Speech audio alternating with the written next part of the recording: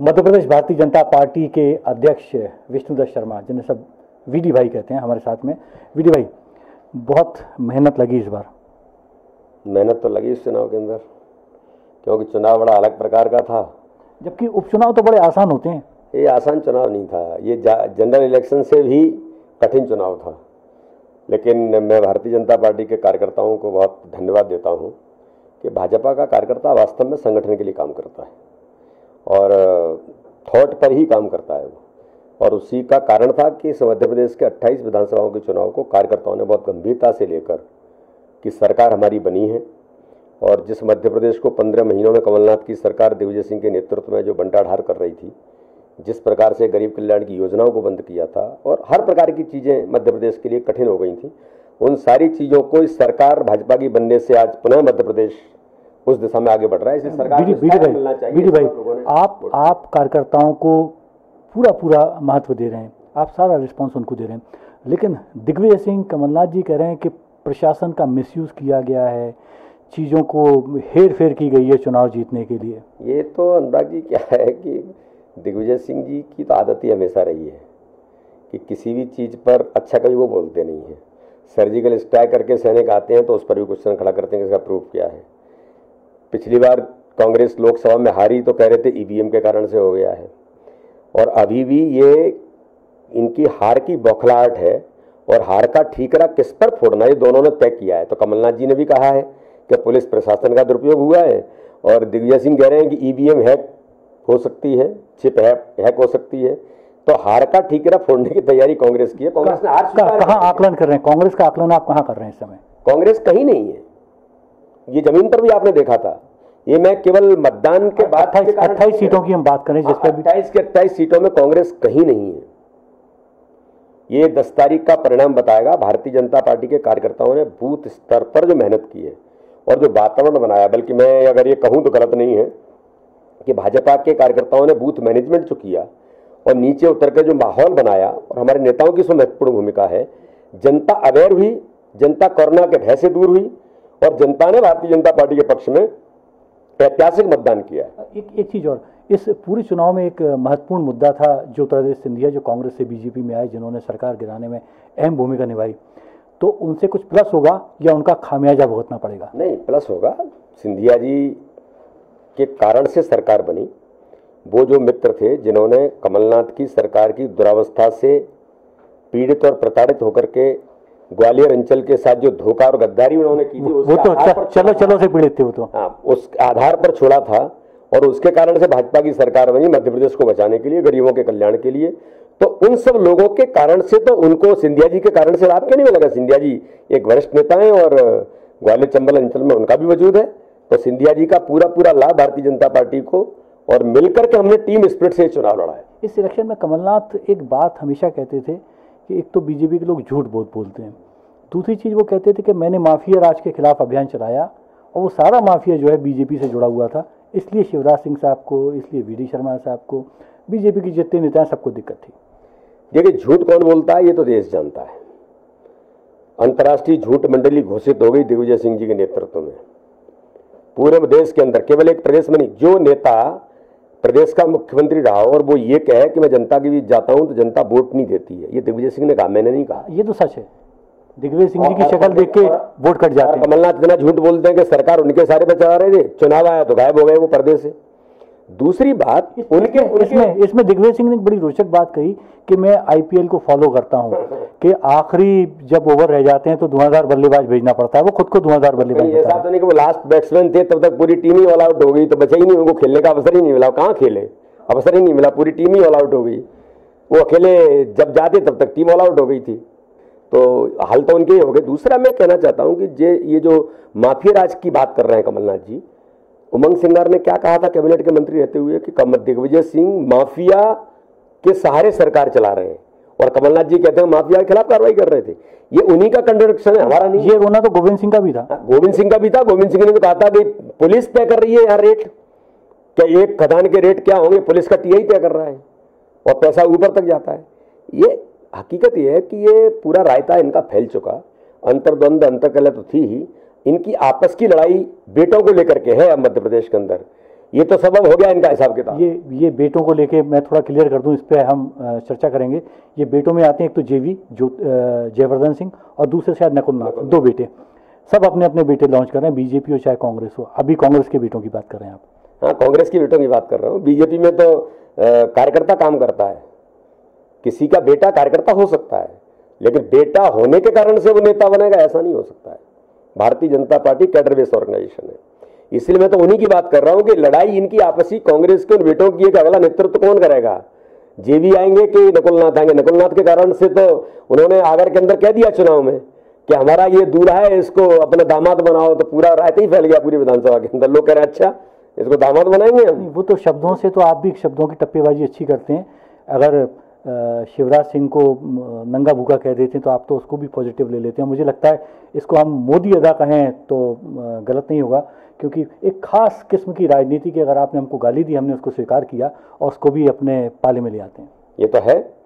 भाई आपने मध्य प्रदेश के एक ऐसे नेतृत्व को जो चौथी बार मुख्यमंत्री बनाया उसका हम नंगा भूखा कहेंगे। तो हमने तो कहा कि हम गरीब हैं। गरीब के बेटे किसान के बेटे। नंगा भूखा या आइटम कह देना ये असर डालते हैं चुनाव में? डालते हैं ना। क्यों नहीं डालते? किसी महिला को भारतीय संस्कृति में इस प्रकार के शब्दों का उपयोग करना ये तो बहुत ही दुर्भाग्यजनक है। और आप ये कहते रहे कि आपका कल्चर होगा आप उस सोसाइटी में रहते होंगे जहाँ आइटम आपके लिए अच्छा होगा। कमलनाथ जी के लिए सोसाइटी है ऐसी मैं उनके बारे में किसी के व्यक्तिगत जीवन में नहीं जाना चाहता। और ये अच्छा भी नहीं होता अगर राजनीति में किसी के बारे में कुछ बोले। उनका जो कल्चर है उनकी सोसाइटी का ऐसा ही है। लेकिन गाँव के गरीब के ये कल्चर ऐसा नहीं है। बेटी का सम्मान आप आप बोले तो खूब। आप तो रितुल रितुलपुर से लेके वो राजू मोन्टाना मिंटो क्या है? वहाँ तक आप पहुँचे। मैंने उन चीज़ों को तो भ्रष्टाचार आपने किया आपके लोगों ने किया। आपके पीएस पीए क्या कर रहे थे? आपका सीएस कैसा था? मैंने कहा ना सामने कि जो मध्य प्रदेश का सबसे भ्रष्ट अधिकारी था वो चीफ सेक्रेटरी आपने बनाया था। तो उसके बारे में कोई हमको चिंता थोड़ी है? लेकिन आप ऐसा कर रहे थे लेकिन S R S R Mohanty S R Mohanty की बात कर रहे बिल्कुल कहा मैंने। मैंने तो नाम लेकर के कहा जो अधिकारी 600 करोड़ के घोटाले का आरोपी हो उसको आपने सरकारी गवाह बना दिया। लेकिन मैंने कभी व्यक्तिगत बातें नहीं की। क्या मुझे जानकारी नहीं है क्या? कि आप क्या करते हो वो क्या करते हैं? मैंने कभी नहीं कहा। आप आपने इस बीच में सिख दंगों की भी चर्चा की। कमलनाथ जिसमें आरोपी हैं। वो हमने ही नहीं की। जो पत्रकार मित्र वहाँ पर थे आज इंग्लैंड से उन्होंने ट्वीट करके कहा कि मैंने इन आँखों से देखा है। मैं संजय सूरी साहब को जानता हूँ। संजय सूरी साहब से मेरी बात होती है और उस मसले पे हमने खूब खबरें भी दिखाई हैं, सच्चाई भी सामने लाने की कोशिश की है।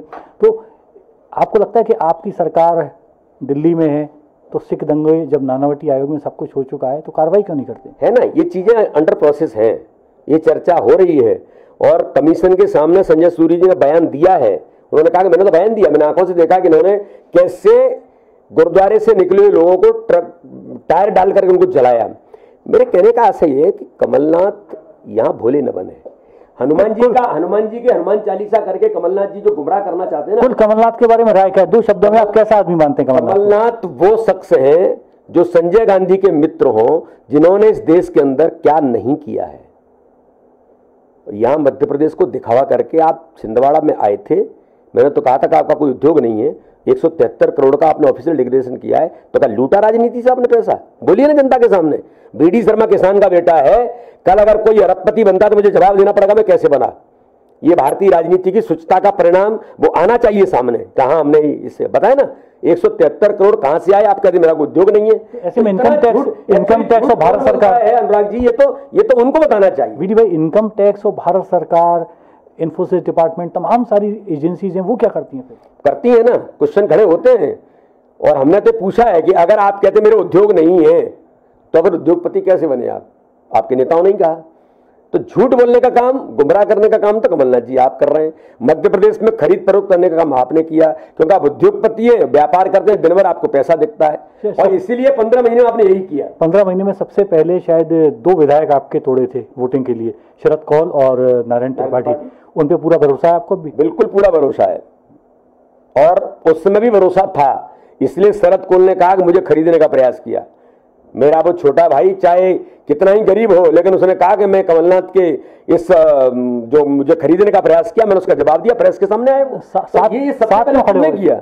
साथ क्यों खड़े हुए थे ये वही क्या होता है दबाव डाल करके इस प्रकार के लोगों को ले जाने का जो प्रयास किया। आपने देखा चुनाव के दौरान दिग्विजय सिंह ने क्या किया? रोशन मिर्ज़ा को तुम बैठ जाओ चुनाव में। नहीं तो तुम्हारा ये करा दूँगा तुम्हारा वो करा दूँगा ये क्या था? ये भी गुंडिज्म है ये भी दबाव की राजनीति है। पार्षद का टिकट दिला दूँगा। हाँ इस सब ये प्रलोभन है कि नहीं है? ये सारी चीज़ें दिग्विजय सिंह और कमलनाथ मध्य प्रदेश के अंदर खेलते रहे। कौम मध्य प्रदेश के अंदर कांग्रेस लोकतांत्रिक तरीके से आएगी क्योंकि गोविंद सिंह ने फिर कहा था आपको ध्यान में हो। ड्यूरिंग इलेक्शन गोविंद सिंह ने कहा था कि लोकतंत्र आंतरिक खत्म हुआ आंतरिक लोकतंत्र कांग्रेस में खत्म। कांग्रेस सब जगह से आज कांग्रेस का अंतरकल इतना हो गया है कि कुछ बचा नहीं है कांग्रेस में। ये केवल दस तारीख तक ढो रहे हैं कि दस तारीख तक कैसे अपना हम हिसाब किताब करके बाइंड अप करें और जाएँ। बाइंड अप करें और जाएँ, जैसे कोई दुकान हो बी डी शर्मा साहब करें एक पूरी एक किरदार पे हम बात कर रहे हैं, उनका नाम है दिग्विजय सिंह, मध्य प्रदेश के पूर्व मुख्यमंत्री हैं, मध्य प्रदेश कांग्रेस के अध्यक्ष रहे बड़े घाघ और तिकड़मी दिमाग के मालिक हैं। असल राजनेता तो कांग्रेस में वही है उनके बारे में क्या राय उनके बारे में मैं राय दूँ मुझे लगता है अच्छा नहीं है। उनके राय में खुद वो दे चुके हैं अपनी राय। क्योंकि दिग्विजय सिंह जी ने कहा जब लोगों ने उनसे पूछा तो उन्होंने कहा कि मैं जनता के बीच जाता हूँ तो जनता वोट काट देती है मुझे वोट नहीं देती है। इसका मतलब जो है कि क्रेडिबिलिटी नाम की कोई चीज़ नहीं है। मैं किसी पर व्यक्तिगत न हमले करता हूँ न किसी के बारे में व्यक्तिगत उन प्रकार की बातें करता हूँ। लेकिन ऐसा नेता मोदी साहब से देखिए और बीजेपी तक सबसे ज़्यादा ट्विस्ट वही करते हैं। लेकिन ऐसा नेता जो दिन भर देश के खिलाफ बोलता है सर्जिकल स्ट्राइक होती है, ये प्रूफ मांगते हैं।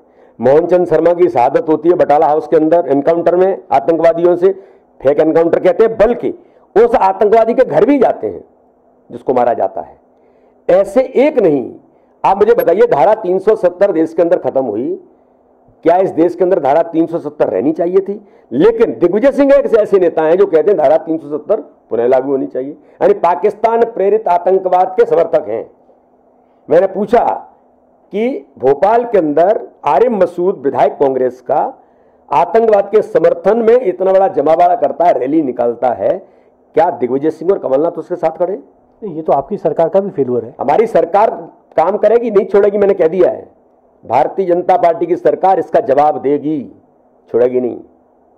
फेलुअर क्या था क्या नहीं था उसकी समीक्षा हुई होगी नहीं हो नहीं हुई होगी तो हो जाएगी। लेकिन भारतीय जनता पार्टी ऐसे तत्वों को मध्य प्रदेश के अंदर किसी भी कीमत पर नहीं छोड़ेगी इनको जेल के सींचों में जाना ही पड़ेगा। आरिफ मसूद तो डंके की चोट पे कह रहे हैं कि मेरे साथ जो करना है कर लो मैंने जो किया है ठीक किया पता लगेगा ये तो। ये तो पता लगेगा। और वैसी जैसे बोलते हैं धारा 370 पर वैसी भी यही बोल रहे थे। अमित शाह जी ने कहा था वैसी जी न कश्मीर जलेगा न भारत टूटेगा तुमको जेल ज़रूर जाना पड़ेगा और देश के खिलाफ काम किया तो। तो चाहे वो कोई भी हो अगर देश के खिलाफ आपने कुछ किया है तो आप नहीं बचेंगे आपको जेल जाना आपने मुख्यमंत्री शिवराज सिंह जी से बात की कि भविष्य में इस तरह की घटनाएँ ना हो प्रशासन को ताकीद करें? सारे मुद्दों पर जहाँ जो आवश्यक है वो ज़रूर इस पर चर्चा हुई है। इस चुनाव में उपचुनाव में जो कि कहना चाहिए कि मुख्य चुनाव से ज़्यादा महत्वपूर्ण था दोनों ही पार्टियों के लिए एक मुख्य किरदार थे शिवराज सिंह चौहान। शिवराज जी के बारे में क्या राय शिवराज जी भारतीय जनता पार्टी के हमारे एक ऐसा नेतृत्व है जो हमेशा कार्यकर्ता की भूमिका में रहते हैं, मुख्यमंत्री हैं, लेकिन भाजपा के कार्यकर्ता पहले हैं। इसलिए लोगों के साथ घुलने मिलने से लेकर जनता के दर्द को जानने वाला नेता है, क्योंकि वो गरीबी और गरीब घर से आया है, उसने गरीबी देखी है। मध्य प्रदेश के विकास में एक जिस प्रकार से स्वर्णिम मध्य प्रदेश बनाने का काम भारतीय जनता पार्टी की, हमारी सरकारों ने जो काम किया, चाहे उमा जी से लेकर के बाबूलाल गौर और शिवराज सिंह चौहान ने तेरह वर्ष जो काम संभाला उमा जी ने कहा कि मैंने जिस ताकत से सरकार बनाई थी, उससे ज़्यादा ताकत से मध्य प्रदेश को बनाने के लिए शिवराज जी ने सरकार चलाई।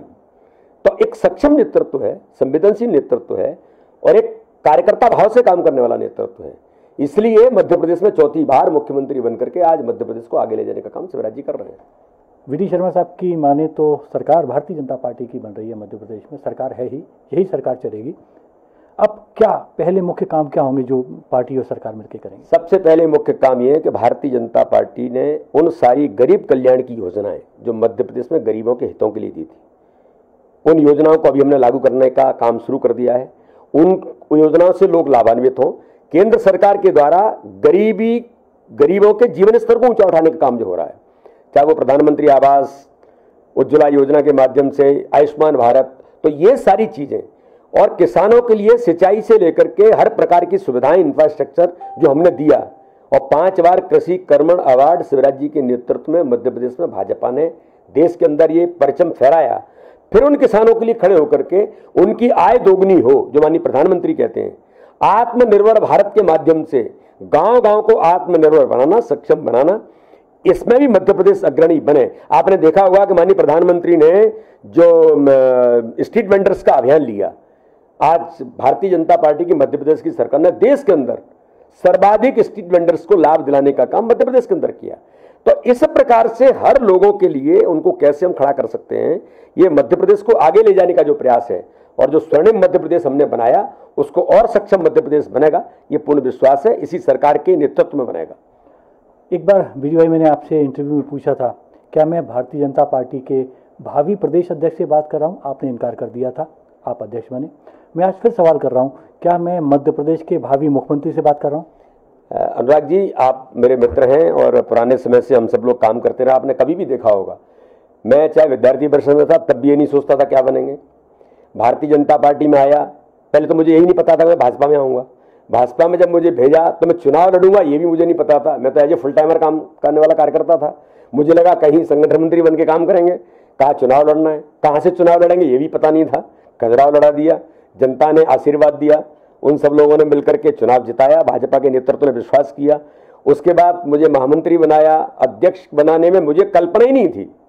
मतलब मैं कोई ऐसे नहीं कह रहा हूँ, मुझे बिल्कुल कल्पना नहीं थी कि मैं भारतीय जनता पार्टी जैसे इतने बड़े दल का मैं अध्यक्ष बनूँगा। इसलिए हम कभी ये नहीं सोचते, हम अपने काम में निरंतर काम करते रहे।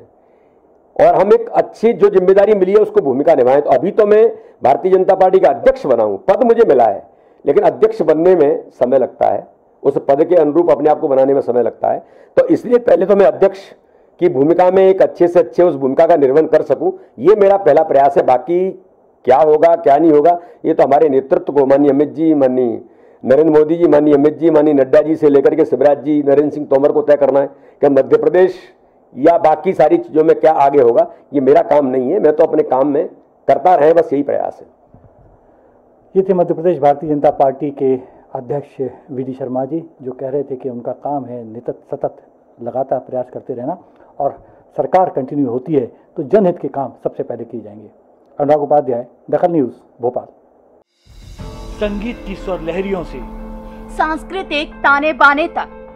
चंबल के पीड़ों से नक्सलवादियों के गढ़ तक झोपड़ी से महलों तक ठेलों से मेलों तक पगडंडियों से सड़कों तक गाँव से शहरों तक व्यापार से उद्योगों तक। राजनीति से कूटनीति तक। दखल न्यूज़। आपके हक